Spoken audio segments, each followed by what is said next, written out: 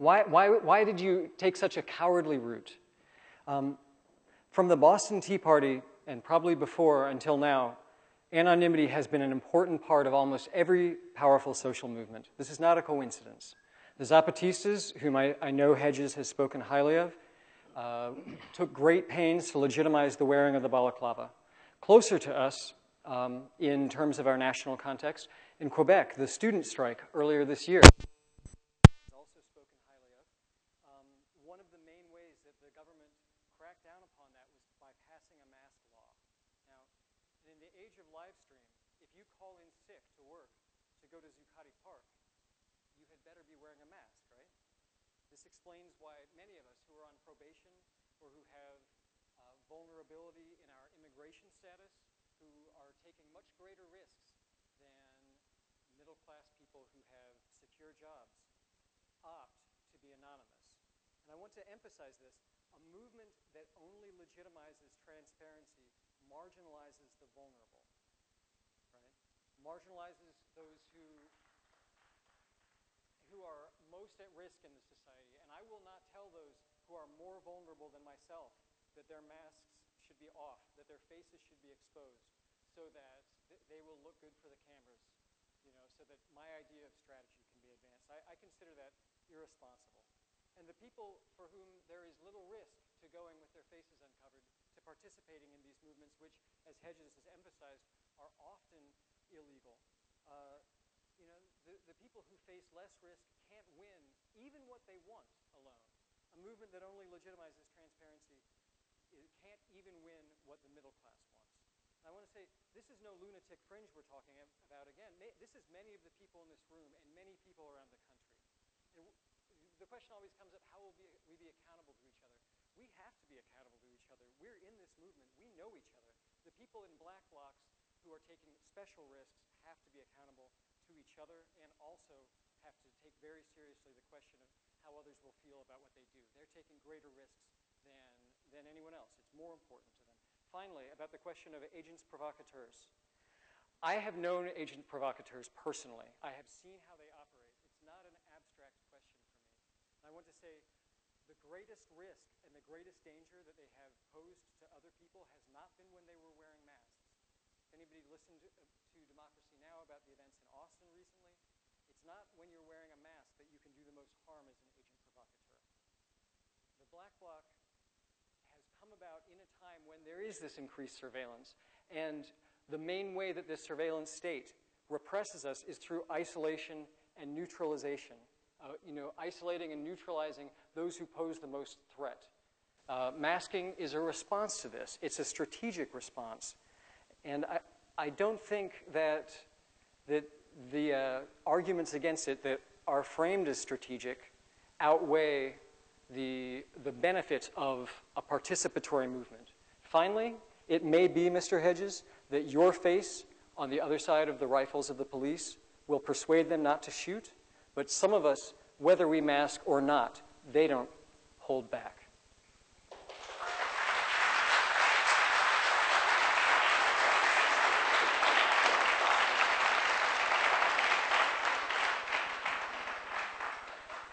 If this was an issue that was based solely around masking, uh, I'm willing to concede many of these points, uh, given the intrusion of the security and surveillance state. The problem is that for me, with the black bloc, the masking comes with other tactics. Uh, and you talk about the vulnerable. Uh, if, you know, and there were weekends that I was in here with my small children, uh, if you are an elderly person, if you are disabled, uh, and you are joining a group that you think is nonviolent, and there becomes black bloc action uh, that provokes a, a, response from the police or tear gas, you can't get away. In the same way that, uh, you know, somebody who's alone and, and, and, young and able to sprint down a road can. Um, but I, I think the issue you raise is a legitimate one. And uh, when you look at the sophistication uh, that is now being employed. Uh, you know, you, anybody who went to Zuccotti saw that platform up there, and they were filming night and day. Uh, and uh, so I think on the issue of masking, I'm willing to concede it. I, I, I just, for me, the problem is that the masking comes with other tactics that I think are counterproductive.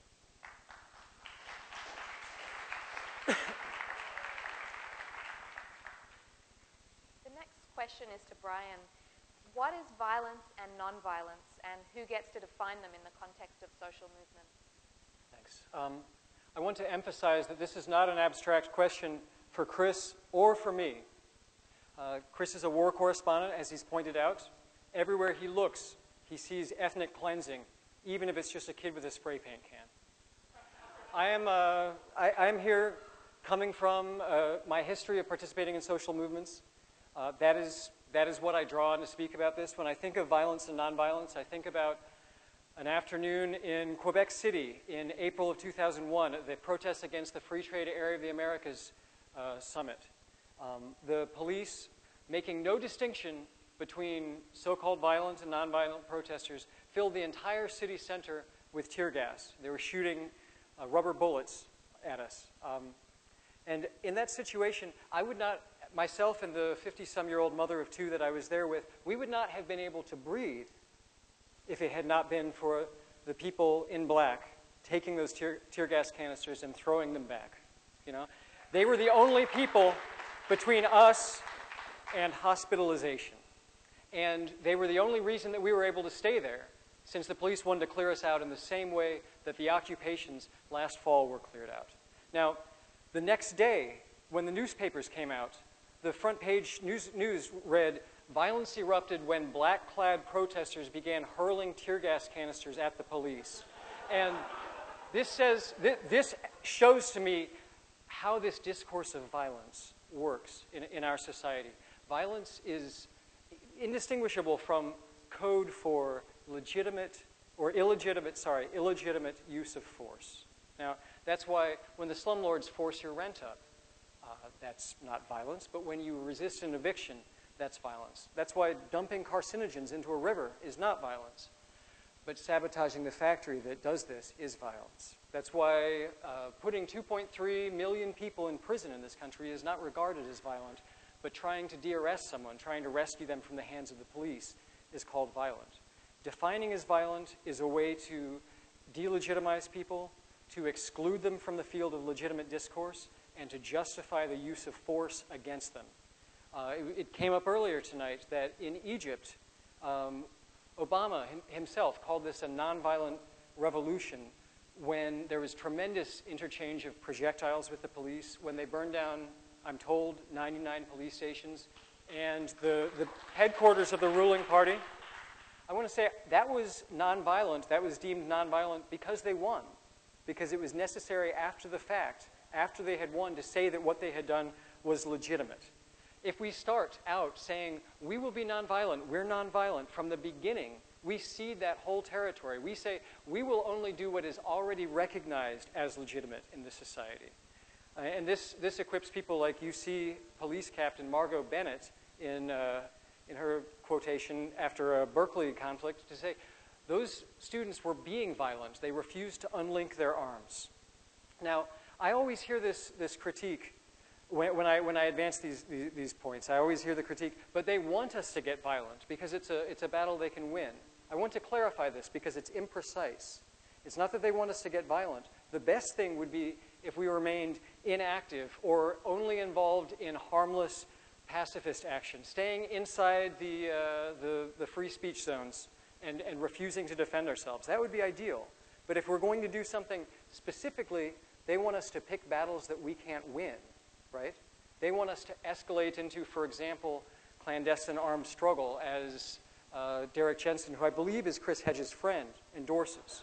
Now, it, it, and I want to say clandestine insurgency is absolutely the wrong direction.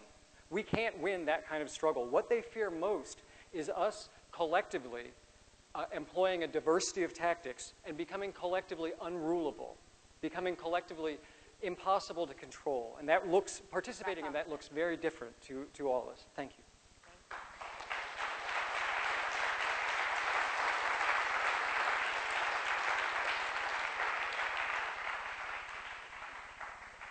Well, having been in various conflicts around the globe, I can assure you that the security and surveillance state could care less about people throwing rocks or breaking windows, um, especially when you're dressed in Kevlar and you're carrying automatic weapons.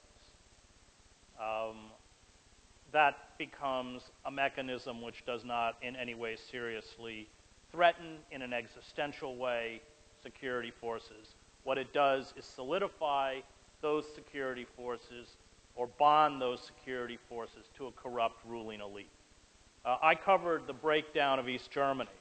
That was, at least until the United States, in the current era, the most uh, had the most sophisticated system of internal security in the world, the Stasi state. And uh, you mentioned earlier the Iraq demonstrations. The problem was not the demonstrations. The problem is that, is that we were unable to sustain them. And the anti-war movement voluntarily gave them up in 2004 because it foolishly thought electing John Kerry, who was no less militaristic than George Bush, uh, was a good tactic. It was turned out to be a very stupid tactic. Um, the, uh, the, the, the protests in Poland, in, in East Germany, were ones that went on for months and months. And, orig- and they originally in Leipzig, and I, I was there, were, were pulling just a handful, a few dozen people, maybe 100, 200 people. And then in September of 1989, suddenly 70,000 people were out into the streets. You never know what ignites a population. That's one of the mysteries of uprisings. And Erich Honecker, the dictator of East Germany, sent down an elite paratroop division to fire on the crowd. And when they got there, they wouldn't do it. And Honecker lasted, after 19 years in power, another week. Uh, the same was true in Prague. Uh, it doesn't always work.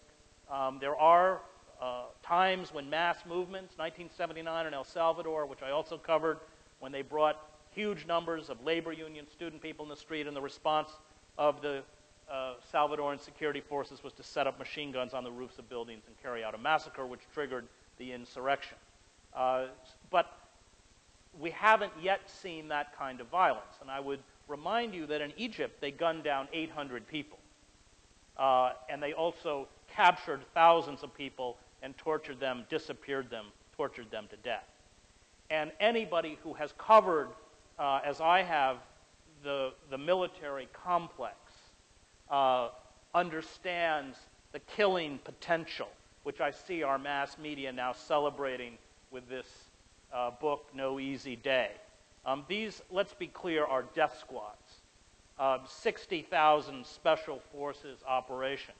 And when empires crumble, and they crumble from within, which is what's happening, the forces of control on the outer reaches of empire migrate back to the center. And having spent two decades on the outer reaches of empire, I know their capacity for violence and murder. We've already seen it in the drug war. A night raid in Oakland is no different from a night raid in Fallujah. Um, same, same outfits, same automatic weapons, command helicopters with searchlights, it's exactly the same. All of those forces are being brought back. And if you are to confront them through means other than nonviolence, then you're going to have to confront them at a level of violence that threatens them existentially.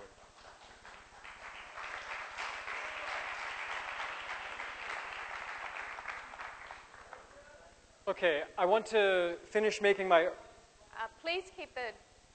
Excuse me.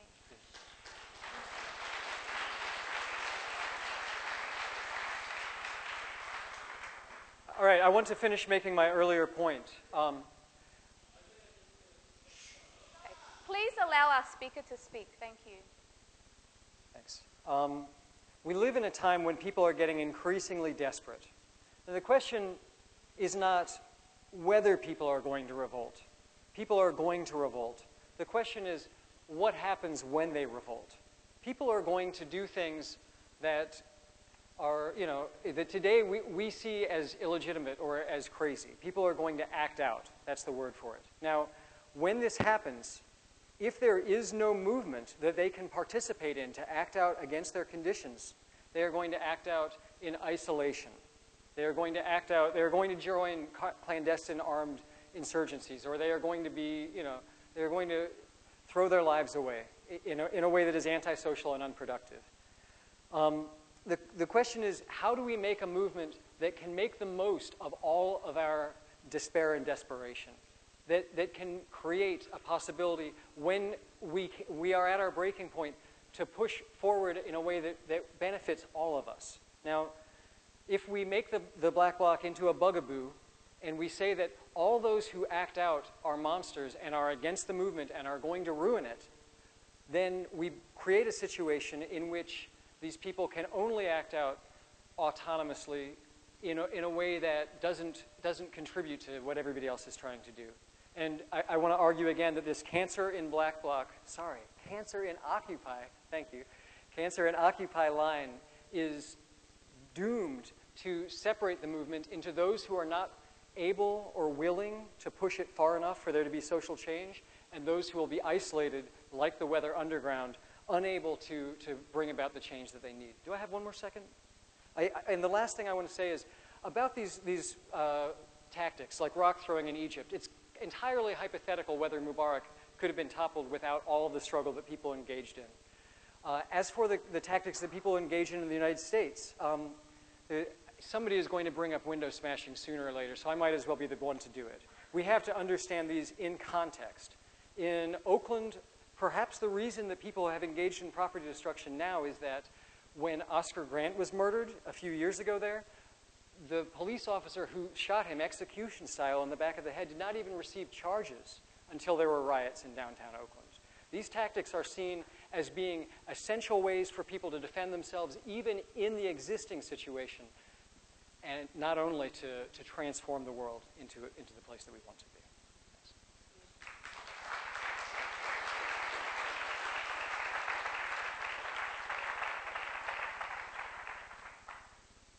The next question is to Chris. Violence is sometimes associated with hypermasculinity and machismo. How would you respond to these claims? Is nonviolence any less hypermasculine, and why or why not? Well, violence uh, let's talk about violence in terms of war. Violence is a hypermasculine endeavor uh, because it is about crushing uh, capacity for empathy, uh, compassion, uh, nurturing. Uh, it's why in every conflict that I covered, um, there was the a fusion of pornography and violence, such as the war in Bosnia is there's a kind of explosion because violence is about turning another person into an object that you destroy. That objectification uh, is classically hypermasculine.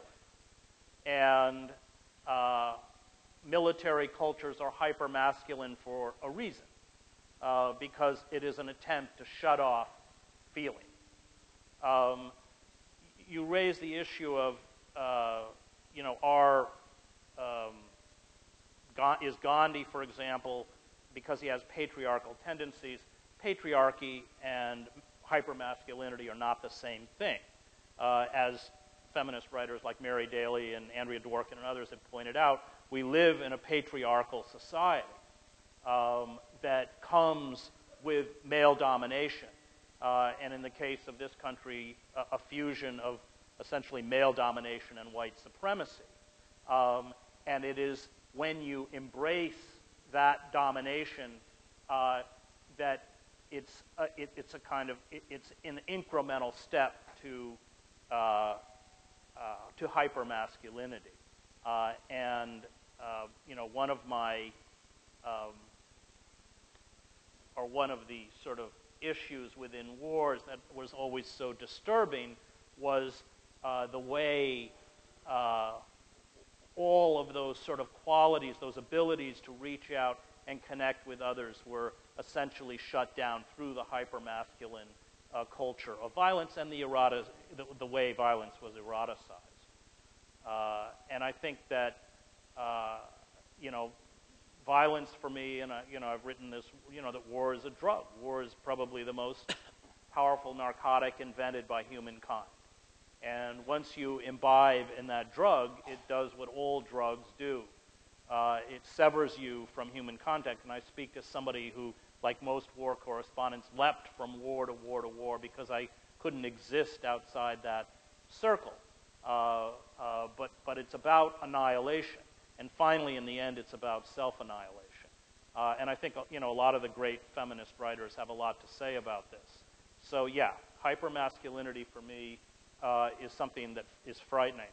And, uh, and when you act as a group, when you surrender moral autonomy uh, to carry out in a crowd or a mob, uh, which is, of course, what police are. You, you destroy their identities uh, so that they become a mass. Uh, and and it, it, it, makes it extremely enticing and even thrilling um, to carry out acts that are destructive and I think ultimately self-destructive.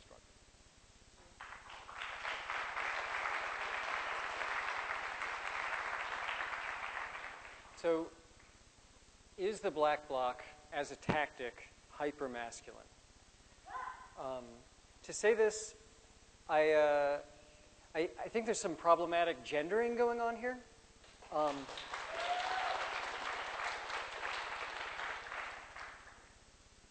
as far as whether the anarchist spaces that I've been in that have produced black blocs have been male dominated, often they have been. Uh, not as male dominated as many of the Occupy organizing spaces that I've been in, to, to speak honestly. Um, to such an extent that that's been a, a, a, notorious criticism by some of my female and queer friends of trying to organize in Occupy. Um, but eh, really, this is just an anecdotal question. You know, you can decide that uh, that what the black bloc does is violence and therefore it's masculine. That's, that's not my gender analysis.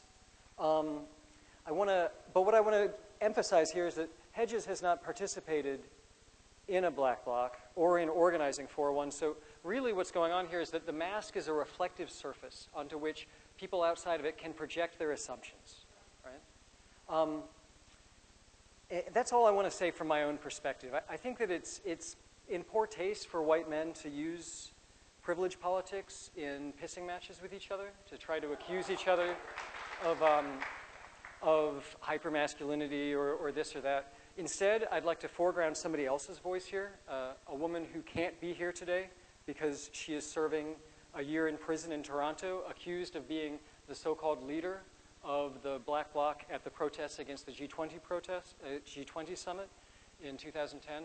Her name is Kelly Rose Pflug-Back, and she answered the same question uh, with, with these words. Patriarchal society in general is infected with a deeply disturbing hypermasculinity.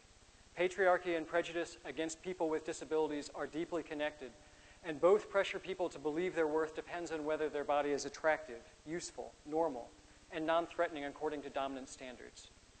Many of the things that people vandalized during the G20 were symbols of patriarchy, like window advertisements with emaciated, underage-looking girls in hypersexualized poses. Being constantly bombarded with these unhealthy images is hurtful and violating to people of all genders.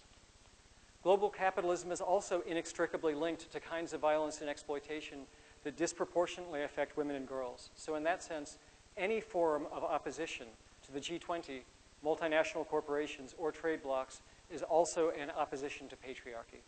There are many documented cases of female workers in sweatshops being systematically raped because they protested their work conditions. And the colonial history and ongoing economic exploitation of the Congo is, is what has caused the civil strife and pandemic of gang rapes that Congolese women are suffering right now. If Chris Hedges wants to speak out about the prevalence of hypermasculinized violence in the world, he should rail against governments and multinational corporations not a scraggly bunch of protesters who oppose them. Now, I know that that is one of the things that Chris does, but we are here today because in practice, his rhetoric helps the state to marginalize, to invisibilize, and to imprison women like Kelly Rose Pflug-Back.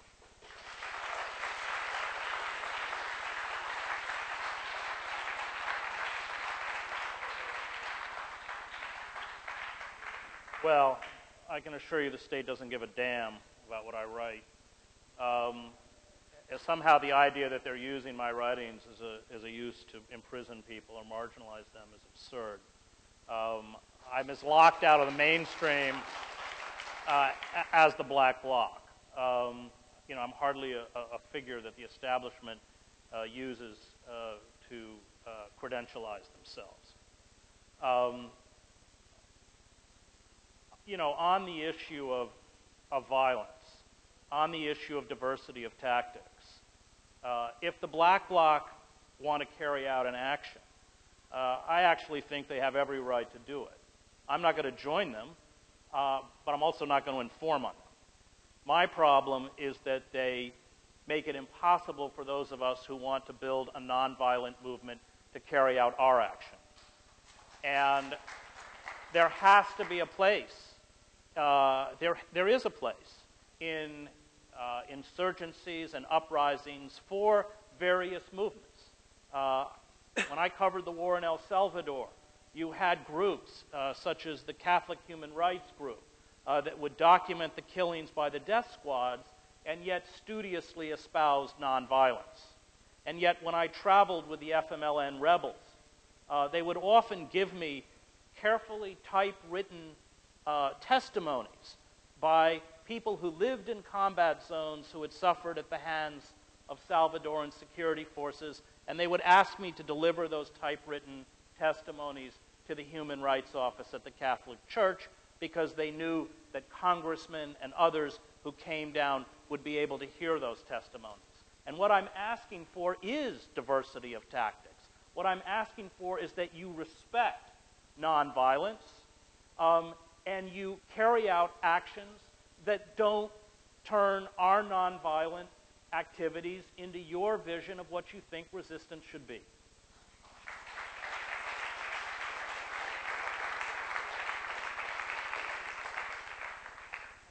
We have one last question before moving on to the audience questions. Uh, this question is to Brian. How do these individual issues relate to our greater visions of social change, how it comes about, and what we're trying to do? How can our tactics distinguish and free us from the institutions we oppose? And how can our tactics embody the world we hope to create? Thank you very much. I want to explain why I, I am making an effort to critique this cancer in Occupy, there I got it this time, uh, line. You know, I, I want to emphasize why that's an issue. Chris and I are not that far apart ideologically.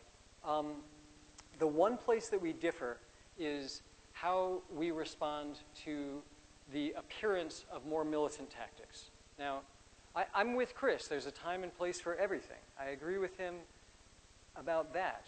But that's not what he claimed in the Cancer in Occupy piece. He said that the Black Bloc is a, a totally distinct social body that has its own agenda that is against all of you, even those of you who have participated in Black Blocs, and that it has to be excised like a, like a, like a medical abnormality. Abnor abnormality? There we go. Um, this, this runs counter to my understanding of how social movements work. It, and it seems to me that we have a really different idea of how this works.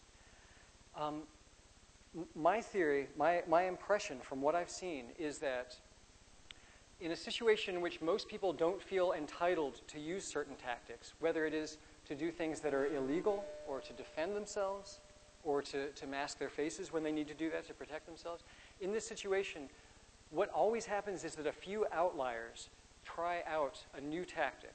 And at first, it's extremely controversial. But if they do it long enough and seriously enough, and they always make the effort to explain themselves to others, eventually, if this tactic is of use, it can catch on and it can be useful to other people. A good example of this is that, you know, Occupy Wall Street was not the first occupation in this country, right? If you go back to 2009, there was an occupation in the New School that at the time was, was controversial, did not take off, was regarded perhaps by many as antisocial or confusing, and that, you know, that sparked occupations on the West Coast uh, and through this, this long, slow process over years, the, the foundation was built upon which Occupy Wall Street could take place. Now, similarly, people in this country are, are now trying to legitimize the wave of tactics that can get us out of the Occupy impasse. If we call these people monsters, if we take every step that we can to delegitimize them, we will paralyze ourselves and the movement for the future.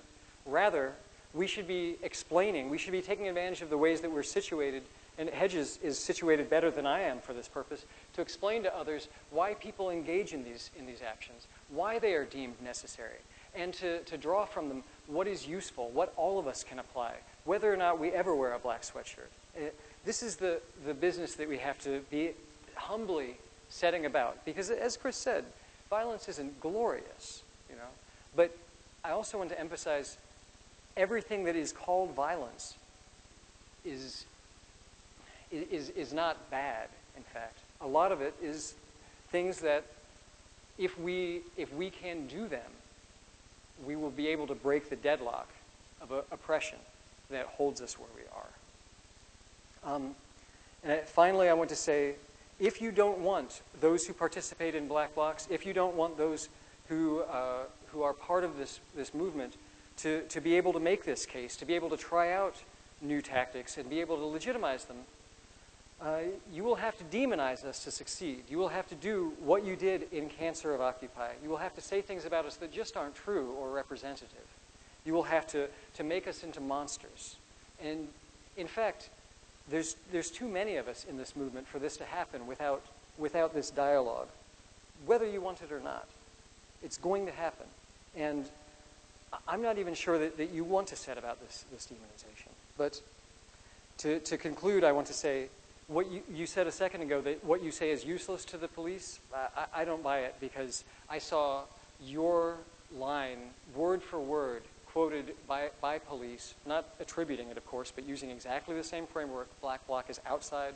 Black Bloc is not legitimate protesters. Black Bloc is chaos, bent hooligans in, in newspaper coverage building up to the RNC, the NATO protests, and elsewhere. So I feel like the fact that you, as somebody who agrees with many of the people here about the situation, the fact that you, um, that you handed this narrative to the police was actually extremely irresponsible and dangerous for lots of people.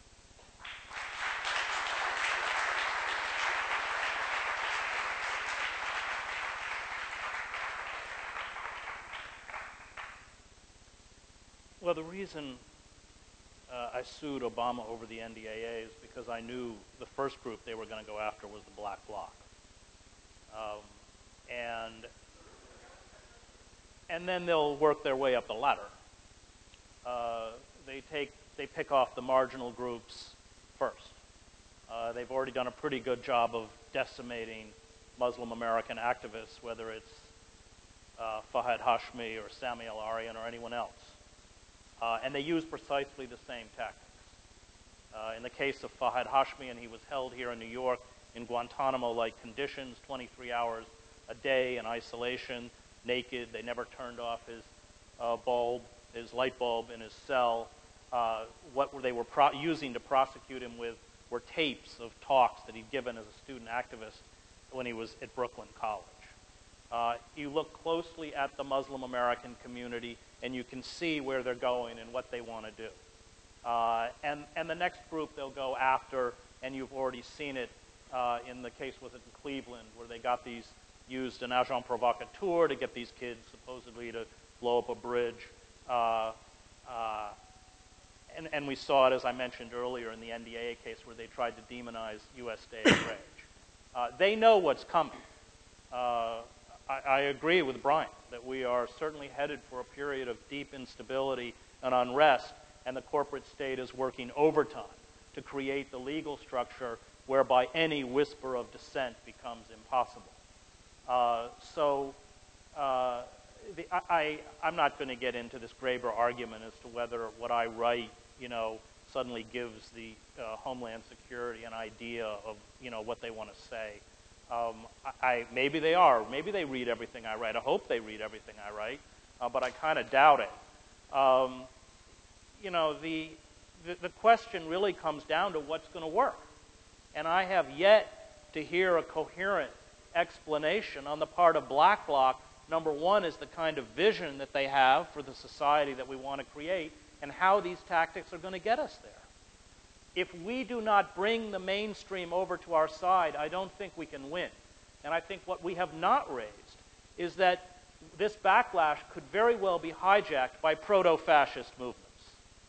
Um, the Christian right, the Tea Party. And unlike us, they are going to be bankrolled by the most retrograde elements of American capitalism, the Koch brothers and others, just as the German industrialists bankrolled the Nazi Party. Political paralysis creates extremes, and the longer that paralysis continues, the more people walk away from the systems of power. And when these corporate interests feel threatened, um, they have the capacity to empower these proto fascist organizations that celebrate the gun culture, that speak in the language of violence, and that do what all fascist movements do, which is to demonize the vulnerable. Muslims, undocumented workers, homosexuals, intellectuals, liberals, feminists, they have a very long list of people they hate. And fascism and violence run like a very dark, we are a very, very violent society. And I think that in times of instability, we cannot rule out that this backlash may be a populist right wing backlash. And, and, and that has to be part of our consciousness when we begin to raise, uh, when we begin to raise the issue of effective resistance.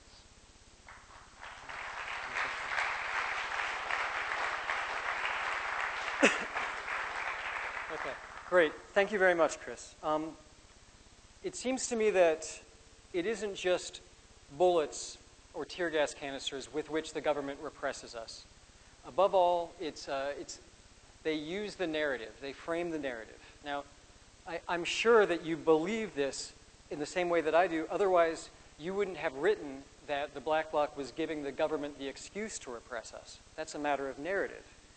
Um, if we create this other narrative, uh, as, as I understand it, which you were trying to do, um, you can see how that would also be useful to the government, right? And you, you mentioned the thing in Cleveland. I really appreciate you mentioning those kids who've basically been entrapped there, but it's significant that those kids were called in, in the mainstream media.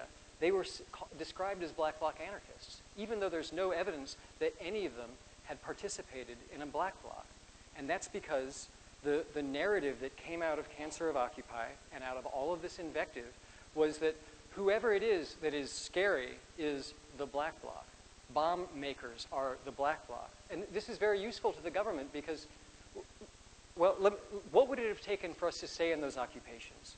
Maybe feeling entitled to wear masks. Maybe feeling entitled to resist. Maybe feeling entitled eh, not to be afraid of standing up for ourselves. And their, their, the narrative that they're going for, their operation is to create an environment in which whenever average Americans, whoever that is, see people who are doing the things that it would take to maintain space, they, they will say, oh, those must be bombers. They must be terrorists. They must be like those people in Cleveland. Do, do y'all understand what I'm saying? This, this, is, this, is, this is absolutely what they're trying to do. So as for what our vision of change is, like I said, like I've said it throughout, using the same examples that I think Hedges endorses, our, our, task is to expand the range of what people feel entitled to do. This, do this humbly, do this persistently, and, and not glorify anything, but just go about the, the, the business of trying to do this. We're going to be demonized, even by people that should be our allies as we do this. We're going to face all sorts of name calling and invective, but just to continue doing it courageously, unstoppably.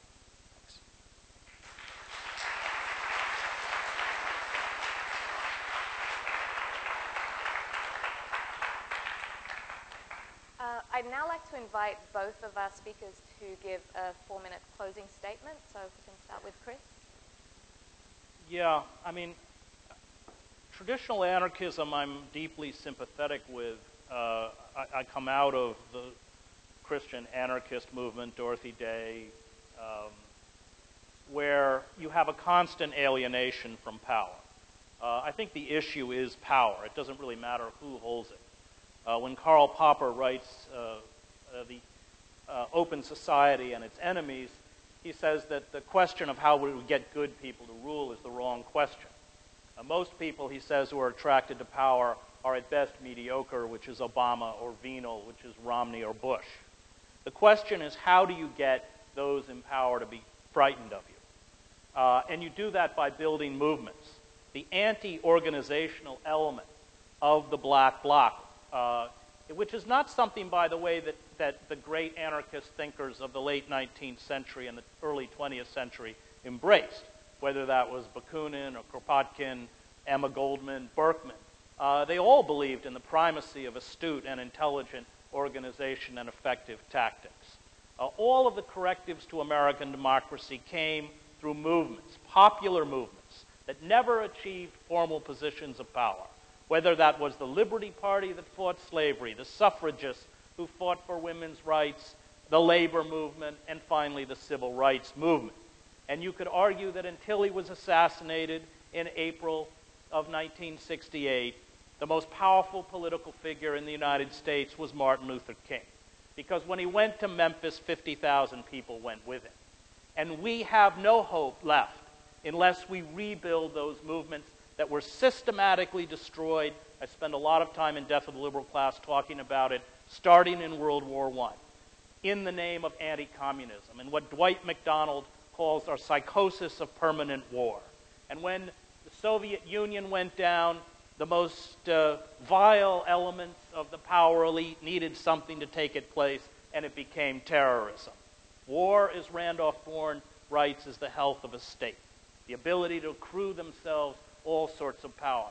And we are reaching uh, a, a crisis moment as we decline, both as an empire and we watch the collapse of globalization and the rise of frightening reconfiguration of the ecosystem on the, for which we depend for, for existence. And if we don't rebuild those popular movements, uh, we will have nothing left by which we will protect both ourselves and finally the next generation from the devastation that's being visited upon us by our corporate overlords. Um, the great novel I've come uh, to believe of the American experience is Moby Dick. These figures are all Ahabs when 40% of the Arctic sea ice melts, all they talk about is exploiting the last vestiges of oil, mineral, gas, and fish stocks. It is collective suicide. As Ahab says in the book, my methods and my means are sane, my object is mad. And we have very, very little time left. And so the tactics we employ have to be smart because the forces arrayed against us are working overtime to crush us.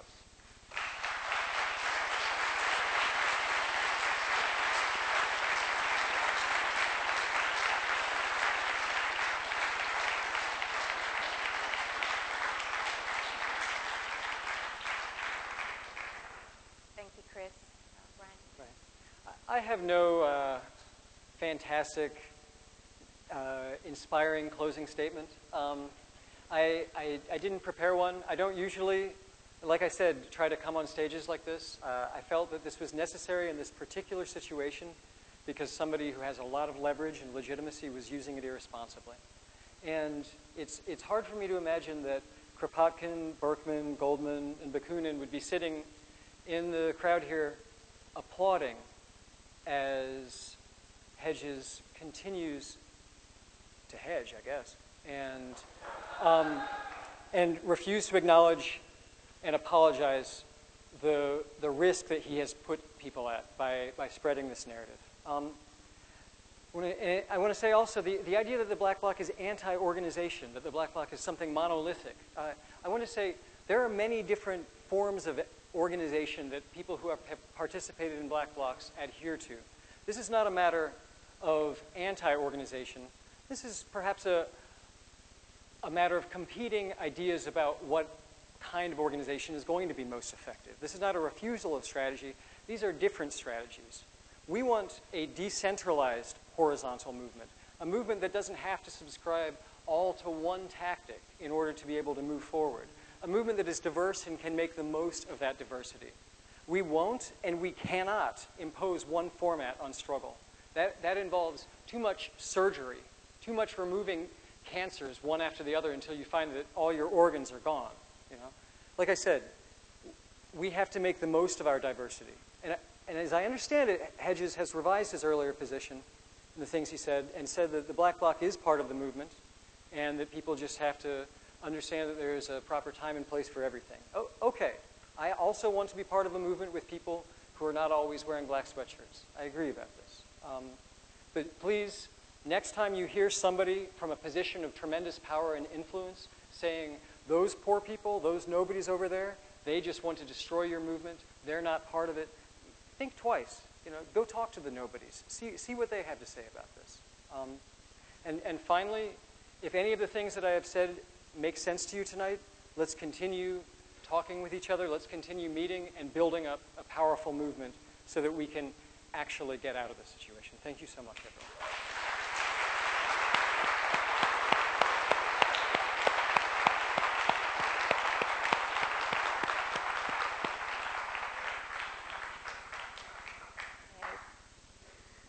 now going to move on to the question and answer portion. I have a lot of questions here, and I'm hoping we can get through as many as possible. So if I can ask the speakers to try and limit the responses to about one minute, if possible, to try and get through as many questions as possible. So the first question is for Chris. Um, can you explain what you meant when you called the Black Panther Party parasites? Do you still feel this is an accurate assessment uh, and the American Indian movement? I don't remember ever calling them parasites. Next question. Oh, no, wh- wh- I, Excuse me. The is next there, question. is, do you have an article where I call the black, Uh, black, Black Panther I parasite? cite I don't remember. It's, it, it's okay, everybody. I, I'll, I'll cite the article that he's talking about. It's the, um, yeah, I, I read it, right? It's the one where you say uh, violent parasites or violent extremists attach themselves to all social movements like parasites, the, the Black Panther Party, the American Indian movement, and then you run through and you're the Symbian, Symbionese Liberation Army by the, by the end. Um, you say, I, I, as I understood it, that's what you were doing. I didn't write the question, but that, that was my impression Right. ha- having read a fair bit of your material. I mean, the Black Panther Party and the American Indian movement are, are different movements from, let's say, the Weather Underground. Uh, the Weather Underground is sort of white, uh, privileged, and nihilistic. Uh, the Black Panther Party and the American Indian movement arise out of uh, significant repression and violence that have been committed against those uh, communities. And yet, uh, I would argue uh, that in the case of both AIM and the Black Panther, it went, it, it gave to the state a kind of mechanism by which they could discredit uh, the broader anti-war and uh, civil rights movements. And that was, of course, always the tension uh, between Martin Luther King and the Black Power movement. King, at the end, by 1968, became a very lonely figure, uh, booed in Watts, uh, uh, and uh, there were huge defections from Stokely Carmichael and others, even within his own movement. Uh, but I think that that is my fear of violence, uh, that resorting to acts of violence uh, cripple and hurt uh, mass movements and give to the security state uh, the kind of publicity and no question that the security state blows whatever activities are done by these groups way out of proportion, but gives them a kind of publicity vehicle that they loop. I mean, go back and look at the 1968 revolution in France, which was carried out mostly by labor, 11 million people carrying out sit down strikes, uh, and de Gaulle used a kind of fringe movement that was violent and, and then looped it constantly on television to justify the excesses of the state itself. The next question is for Brian.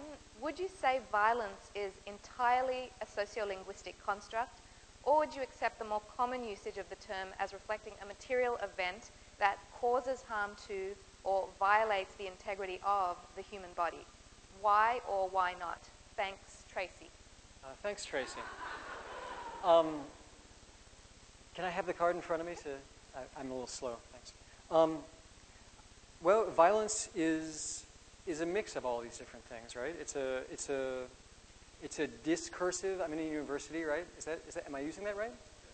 It's a, a It's like a, it's a matter of discourse, something like this, right? It means different things to different people, which is one of the reasons that I think it's really important that we don't say we're nonviolent and assume that that means the same thing to everyone. That if, especially if you want to identify as, as being nonviolent, if, if you think that's important, you have to be able to clarify exactly what that is and also protect people who don't use that language from the kind of delegitimization that the legitimization of nonviolence equips others to carry out against them. Does that, does that make sense? You all follow me? Okay, thanks. Thank you. Yeah. The next question is for Chris. Can there be a coexistence of black bloc and nonviolent tactics? If yes, in what form and what situation? I think there has to be uh, a respect for diversity of tactics. And the black bloc has to respect the tactics of nonviolent movements. Uh, I don't support uh, the vision of the black bloc or their tactics. Uh, and yet at the same time, I'm certainly not going to do anything to impede, uh, you know, having them carry out those tactics. And that's what I'm asking for, that they respect those divisions. Uh, and if they respect those divisions and they call a black bloc action, I, I, you know, I won't attend, uh, but I'm certainly not going to help the authorities do anything to crush them.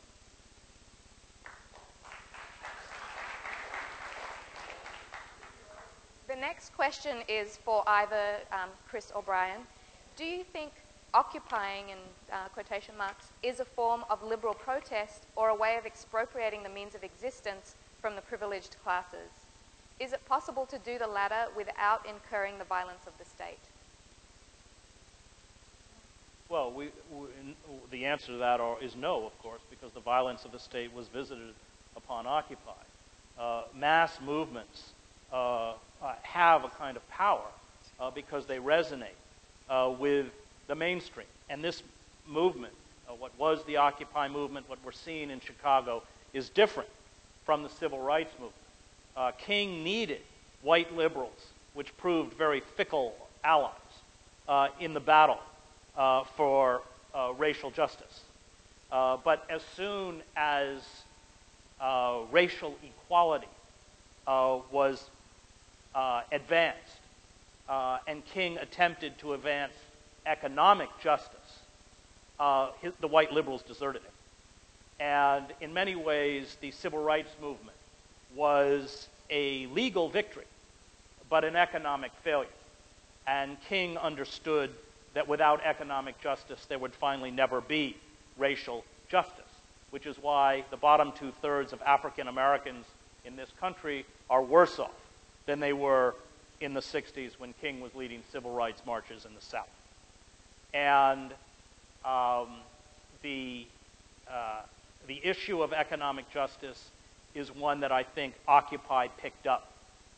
Uh, and they picked it up because uh, there were large numbers of white, middle class, college educated kids who suddenly began to experience what people in marginal communities and people of color have been experiencing for several decades. Um, police repression is hardly anything new if you live in East New York. Uh, but it was new uh, if you were a graduate of Oberlin College and working in a deli. Uh, and uh, my assaults against the liberal class are precisely that they retreated into a kind of boutique activism of multiculturalism, identity politics, inclusiveness, and forgot the primacy of justice for the working class and the poor. Uh, and if we are to succeed as a movement, um, we've got to recapture that the economic primacy of justice uh, in order to go forward.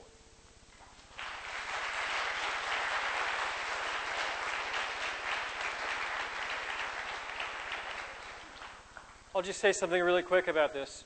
Is occupying a form of liberal protest or a way of expropriating the means of existence? Uh, that's the question I was trying to pose, however clumsily at the beginning. Um, if we see what we're doing as an appeal, as an, just a, a registering of dissent, it will not change the situation that we're in. If we, uh, if we approach it as a project of actually getting our hands on the resources that we need to remedy the, the imbalances in our society, yes, we're more likely to come into conflict with the state. And it's telling that when we set out to expropriate the means of existence from the privileged classes, we barely feel entitled even to take over a public park. You know, this this emphasizes again how important this project of becoming uh, becoming more confident in ourselves, of trusting ourselves more, of feeling more entitled to, to act. You know, not not feeling uh, like a public park is barely the most we are entitled to, but all of the riches that we have produced in this world.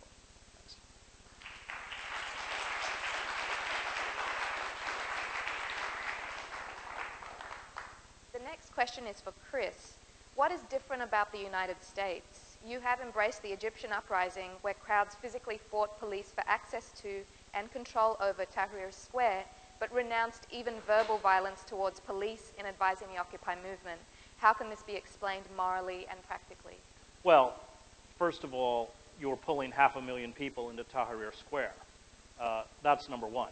And number two, uh, the, the, the, most uh, crucial moment in the Egyptian uprising uh, was when the army commanders realized that they could not call upon their soldiers to fire upon the crowd. Uh, and if you remember, there were pictures of occupiers in Tahrir Square climbing up on the tanks of the soldiers, which I think goes right back to proving my point. For me, the most effective strategy is not to confront the pillars of power, but to draw them towards us by fragmenting them. Uh, that, uh, and that's why even verbal abuse to the police is a mistake. The police are working class. They come from working class communities. They work uh, at these financial centers earning $37 an hour uh, as rent-a-cops. They watch these guys walk by in their $8,000 suits, uh, and they might as well be a piece of the furniture. And the, the, the, the effectiveness...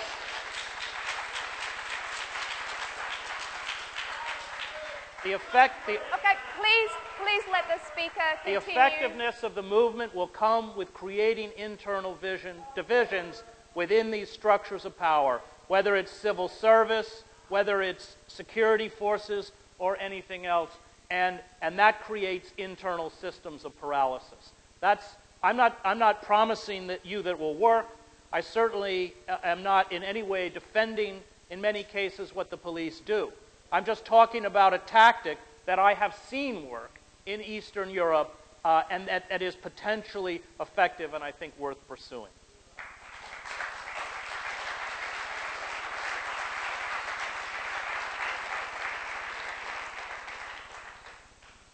Um, there's a question, I'm not sure I'm going to be able to read it exactly. It's kind of crossed out a bit, but it might not make sense. But which are, which are fighting the state have massive support? I was wondering, like, doesn't make any sense. Um, why is it that the left as a whole doesn't, why is it that the American left as a whole doesn't even acknowledge these movements? And Chris Hedges, if a movement like this in the US were to Christ, would you support it? Arise. I'm sorry. Arise. It says oh, arise. okay. Sorry, it says arise. If a movement like this in the US were to arise, would you support it? Which, Which we are fighting the state have massive support. I, I don't get it. okay. Um, okay. The next question is for Brian. Has the Black Bloc ever been engaged in a protest that was successful? Did the Iraq War continue nonetheless? Did NAFTA pass? Did OWS have any victories if it can call its own in general? Well, I'm not sure how the person who framed that question defines success. My argument would be um, that success is, is a very complicated thing. You can't immediately gauge it. Um, if, if we frame success as preventing the government from doing something, that's, that's difficult. We, we rarely succeed with any tactics from getting them not to pass a particular kind of legislation, but the black bloc is not a kind of hard lobbying. The black bloc is a way for people to uh, act together anonymously, to make the most use, as they see fit, of their own personal capabilities. And in that regard, every time people engage anonymously, collectively, in an activity that they wish to, that they otherwise could not, it is a success. It's a success for the participants in that it returns a little bit of autonomy and a little bit of power to, to those who, who engage in this. Um, now, of course, we have to look at these things strategically as well, as, as Hedges is, is arguing. Um, you could argue in theory that the black bloc that happened in Seattle in 1999 that was so famous was strategic and successful in that it galvanized young people all around the country to, to perk up and to become really excited about what was going on in the anti-globalization movement. I, I'll admit I was a punk rocker in the 1990s, and in 1998 it wasn't very easy to find another punk rocker who could tell you much about the World Trade Organization. By 2000, just about every punk rocker that I met could, could give you a long rundown on the IMF and World Bank and how they were implicated in oppressive policies throughout uh, the global south. And this, this is because when you don't know what to do, when you can't imagine yourself taking any action, it's hard to become invested in the issue. It's hard to become invested in anything. You know, th this is why strategies that begin from education often have limits. But when you feel there is something you can do, however small, often you, you, you come to be really, uh, really focused on the issues and, to, and to, to learn about your agency and what you are capable of doing. In that regard, that black bloc and many others, I would, I would say, have been extremely successful in catalyzing the movements that we see around the United States now, or else we wouldn't be having this conversation in the first place.